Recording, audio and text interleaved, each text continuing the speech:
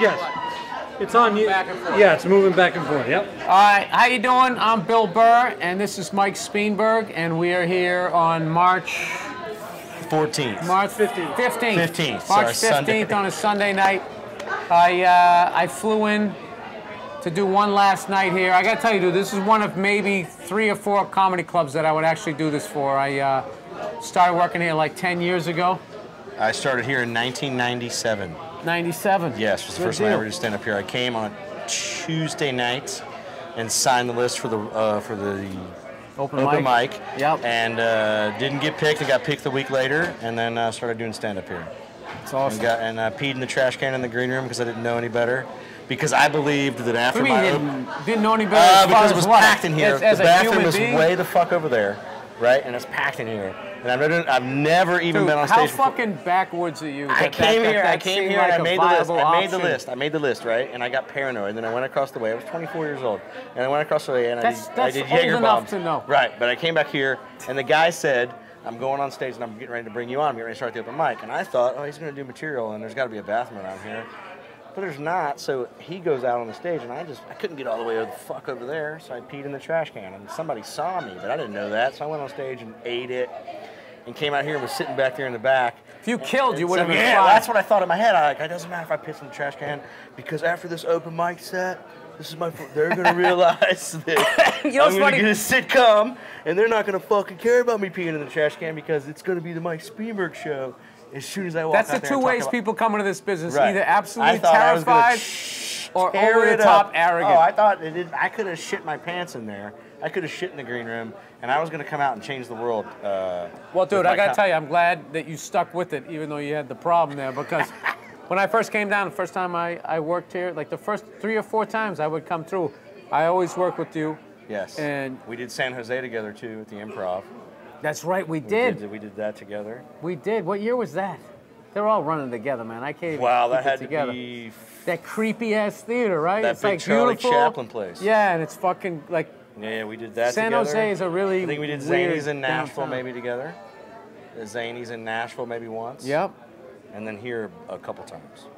I'd, I I would say at at least, Zanies at least four times. Dude, at least four times I came down. Yes. Like the first three or four times I did this, uh, you, you, you, uh, I worked with you, and then there was one time where you were on the road. Dude, we did everything. We went to a Georgia Bulldog Right, game. we went to the bowl game and we fucking sat up ago? in the we sat up in the pre- and Jamie got us up in the thing and we looked down. Jamie, what year was that we went to that Bulldog game? So the It was the year the Patriots got busted for filming people. Because I remember I ran into that Georgia Bulldog former quarterback, and he was like, dude, we used to do that shit all the time.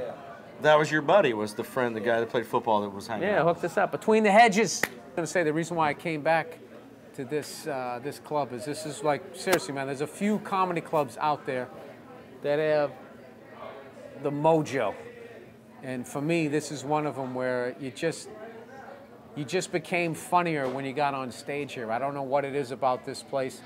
It looks like everybody always jokes it looks like an old pirate ship or whatever, but um, it just had that vibe. And then, Mike, we were joking. Jamie, you remember me bringing this up a long time ago? They have, they have the greatest collection of comics who never made it headshots on the punchline wall. I mean, it is just littered. There's a guy Dude, with you're a not gonna turban. get- you're not gonna get There's a rid guy of with these, a turban. Taking all that. There's a guy with a turban. Guy with a turban. I was saying, and it's all their first headshot, so they have that excited. I'm gonna make it. I can't believe I'm in show business. And I told you one time, right? Put a couple of put a couple of hitters in there. Yeah. Put, put, put somebody up there that made it. Somebody who fucking wrote a movie, got a sitcom, was even on for half a second. I mean, dude, look at that. Look at that wall over there. Oh, there's one. there's one. that in there's the, one uh, in the person Bear up there that I jacket see. in the drawing? Who's Who's that? that in the dra- in the drawing? Rich? Little. Huh? That's Rich Little. Oh, that's Rich Little. Oh yeah, I knew that. Rich oh, Little. But that's a drawing. that. That is a drawing of a comedian that made it. But every Oh, photo over there. There's Dude, look at that. Look at that a guy holding second row. Look at the first headshot. second row. Look at that. Look at that fucking just. We should Facebook them. Jonah Napoli. I no, bet I used you- to do that. I used to do that when, when do it on Judge Judy, smartphones dude. came out. I've been working Cheaters. so I fucking long. Facebook those people. I fucking would would. I googled somebody from fucking up on the internet. and I'm always praying that they did something. Yeah, they have a current IMDb page. Yeah, because I used to come here and I would probably fill to about like maybe that long table right there. Was And the- you guys- It was the um uh, the Bill Burr tells Philly the truth that fucking got you over that hump that put you to where Opie and Anthony and that and the. And but that's when even you that, started even doing the three but even even. Opie and Anthony and the half hour special, it took until uh, because that Opie and Anthony and the half hour special got me the coast. Right. But dude, the South was brutal. The South took me for fucking ever because I was clearly this Well, I was here when the guy had his feet on the stage that night. You were talking about it in the first show when the guy had Oh, his you feet were there for that? Remember that guy? That night when the guy had his feet on fucking guy with the uh, penny loafers and no socks was just sitting here, right here, right fucking there, sitting there, crossed his legs. He's just got his stupid feet, right? Is I never had to work for anything in my life, pudgy fucking ankles just sitting there. And I told him, hey man, get your feet off the stage or whatever. And he's, he's going, oh really, blah, blah, blah, blah, blah, blah. And he took them off and eventually he puts them back on and the two of us got into it. He was such an arrogant fuck. They had to bring the bouncer over for him to leave. And I remember when he got up to leave, he sort of took like a step towards me. And I was saying on the first show, I wanted to take the mic stand and hit him so hard in the chest, like he shot back and, I, I, and his feet came right out of his loafers. I think his feet were too fat. I don't think it ever would have happened. But uh, I have that fantasy. If I get bored with my own shit on stage and I'm just talking and I'm looking at somebody, I'll start thinking about weird shit like that. Like, what if I just fucking just kick this chick right in her skull? Right? Like, well, how would that change this entire show? it's a like, fucked how would, up comic how show. would the- Even, even I look don't this think shit like that. Change if I just poked her right in her fucking eyeballs right now while I was talking to her about this random stuff. Well, Jimmy, I want to thank you for building me in the in this market, dude. Because no, come on, man. When I came down here, I, I would, I mean, there'd be like 30 people in the crowd, and 20 of them were on your mailing list. Yeah, well, I we went out to do some pre-night show one time in Athens. I remember that. and I the remember melting that. Point, and I think that was in 2005. I think that Yeah, 10 years. it's like 10 years ago. Yeah. I remember that. Yeah. On, a, on the Thursday night, didn't do the show here, did the show out there, and uh, rode out and back. And that was a shit show. It did not. There was a f- Oh, few people. yeah, There was a few people that not. Even, I didn't even have a podcast. I had nothing. but it was yeah, it was just. Uh, Who did we see them play that time? Oh I man. I- remember that. uh, I want to say it was like a New Mexico State or something. no, wait. I can. I can remember. Ah, fuck it. But the challenge was it had to be it had to be a home game. It had to be um, a game that was against an opponent that wouldn't get flexed late in the day. That's right. So it had to be a noontime kick. Because that happened to me. In, that happened to me in Austin, Texas. I was going to go to the afternoon Texas Missouri game and then do my show at Cap City Yeah. that night. And they And flexed fucking turns out Missouri goes like five and zero. Yeah. Texas is five and zero. It moves to eight o'clock. I miss the game and no one comes to my show, Yeah. except for like these nerds who were into like Green Lantern and shit. Um, but anyways, dude. Nah, I appreciate it. Continued success. Yeah, yeah. You crush it every time. I hope you It's a Pleasure to watch. You'll never be able to get a room like, but if you can, the closest you can come, dude. It's like one of those things, like, do? Like the fucking the laughs are in the walls, man. Yeah, it's nice. in It's marinating in here. The landlord is gonna marinating Get back here. a stripped building. Well, Just make sure they're level. Did you guys build all of this shit? Don't put us way It's a above country them. western bar. Oh, it was a country western and bar. that literally closed one night, and then we. So that's, That's the old fucking dance hilarious floor. too, because when you guys got this was right around when Urban Cowboy It was over. Was a, it was Yeah, over. it was- It came and what it went was. one summer, and everyone who was- was accountant took off their cowboy hat and their boots. The thing fucking went under, and you made a comedy club. Palomino Club. That's where my mom would go in Charlotte to the Palomino Club when her and my dad got divorced. Palomino ah. it was in that same era of the John Travolta. Yeah. Palomino. Urban Cowboy. Yeah, Palomino. Disco died, replaced by Urban Cowboy. Mm-hmm. My favorite line in Urban Cowboy was when Deb- it's Debra Winger, right? She comes up to John Travolta and she goes, "I liked you better with the beard," and he goes, "Well, who asked you?" Fucking takes a sip of his beer. I remember being a little kid going, "Yeah, yeah, fuck you, bitch." that was terrible, but that's how I processed it. Resonated. It did, no, but that's the kind of swag you needed to have. Not like there was ever a Debra Winger walking up to me, but I just loved that he said that. Well, who asked you? I always thought as John Travolta shaving, that dimple's got to be a bitch. Like he's got, he's got to do some sort of like, Press it. Press it. I wanted one of those when I was a kid. It seemed like all chin the big nipple, the stuff. Joe yeah, Namath, the Joe that- Namath. the- yeah, no, the, the dimple Namath? chin. Yeah, it's a butthole chin. Yeah. No, the dimple, not the butthole. The fucking difference. dimple. I thought that that was uh, that meant you were good looking. And uh, once I started shaving, I realized how lucky I was. That's not an easy thing to shave around a butthole in your chin or, or uh, chin cleavage. What's his face went for it too, huh? Michael Jackson.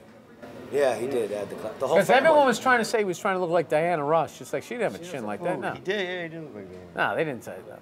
He just ended up looking like her. Yeah, females don't generally. She must have been pissed. She must have been like, I don't fucking look like that dude.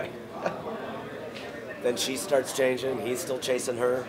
I think that's fucking great that he's becoming a woman. I think it is. Because what he won was so manly, the decathlon. It's the, it's the, manliest it is fucking. the king of all. that's why I love that he's becoming a woman. Right. I think that's that's the cool. That to me, that's the funniest shit ever because uh, just because what he did was so manly and he was on the Wheaties box and they got that whole "this is what a man does." His hairy chest and his perfect fucking part. Now he's like wearing nail polish. I think it's great. Yeah, that was kind of a creepy photo with the Oh nail yeah. I, I hope he fucking just goes like, what, what kind of woman do you think he? Be, you hope he becomes? Uh, I'm hoping he just becomes. You know those chicks that are just flustered and they can't get their life together. Like I hope that's. I don't wish that on him, Flustered. but it would be, be funny to see a former male decathlete like flustered, just going like, "Oh, I just had the worst day. You know. He was already wearing like spaghetti straps, if you really think about it, when he was when he was an And Olympian. always had great It was just flowing, flowing, hair. yeah. Before always. Farrah, he had it before you guys Farrah. saw this coming. flowing hair. Like I bet when he, He saw used to date Charlie's Angels, Oh. he was going like, "Come on, could do that. Kate Jackson." could do that. Kate Jackson, Kate had his had his hair cut. Right, but that's who I think he becomes as a. He looks Kate Jacksonish. All right. Then we're gonna we're gonna, we're gonna show our age here. Uh, your favorite Charlie's Angel? Kate Jackson. What was I Kate got a Jackson? Farrah Fawcett, man. Dude, Kate Jackson on the Rookies when she was the nurse, with that smoky voice. Like that one. That is the most Like beautiful. yeah. Oh yeah, the two of you guys, man. Here's the, a little more Bruce Jenner. the sexy raspy baby that you guys could have would be just Oh, incredible. it'd be perfect. Be wearing a suit with her hair, forget about Kind of the Angie Harmon thing, right? Angie Harmon's got uh, got that same vibe. I don't know who that is. Married to Jason Sehorn. Play for the Giants. I remember right? Jason Yeah, she was on Law and Order for a long time. He played did the the underwear Giants. commercials. He was like a modern day Jim Palmer. Uh, I hated I hated Sehorn. I couldn't wait for him to get off the Giants. For quite what? fast enough. You didn't like him as a he player? You just was like because he had that wonderful mane of hair. He was a terrible player. Showboater.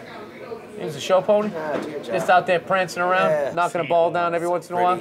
Yeah. The nerve of us. You know what? If you fucking our combined time in the 40s, it's got to be triple digits. Right. Well, listen, I'm gonna be. I'm going to get on to what I always did after my shows, which is drink up at the bar. I want to thank the Punchline for uh, letting me be part of 10 years of the 33 years that they had here, and uh, I am so fucking sad that it's over here. And I was glad. Thank you for having me down here, No, man. it's my pleasure. And thanks for, for building you. me up in this. Appreciate it. Yes. In this And I love you. You know I that. know, I, it's longer than 10 years. It's been nine I love Mike Speenberg. You, I'm, I'm still on the fence with. Yes. So uh, yeah, you know I love you, and I appreciate you, and I'm uh, I'm not saying goodbye because I'm not I'm not giving up hope. in This We're place. gonna be at the next place. yeah, yeah. So we'll figure out Get the the next place. Why don't you just burn down the new place so you still you'll have extra parking? Where do the ladders go? I know every comedian asks. Why? Why But the thanks for having me too, man. I appreciate you. Fuck yeah, dude! I weekend, bro. couldn't do the punchline without Burr Speenberg. That's Ruth Garrick. No, fucking with you. I All share a right, man. birthday with Okay, Lou you got Gehrig. wires on. You're Lou wired. Gehrig and I have the We're same wired, we're birthday. You're wired. June 19th. Lou Gehrig. Gemini.